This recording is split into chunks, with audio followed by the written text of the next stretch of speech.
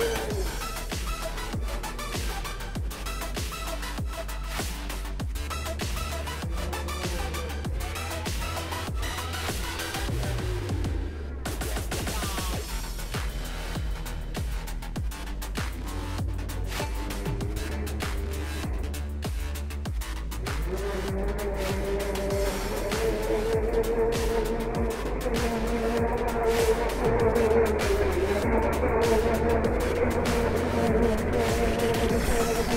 I'm gonna go to the